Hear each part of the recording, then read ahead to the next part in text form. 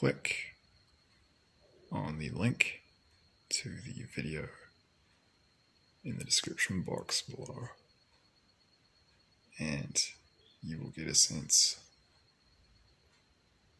of exactly why I keep emphasizing this message that if you're not planning to fight in this war, you should emigrate one of these safe zone countries.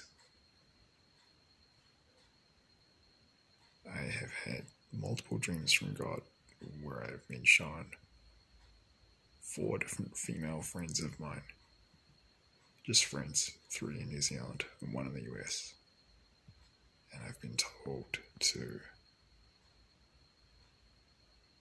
go and talk to them at the appropriate time and convince them to leave.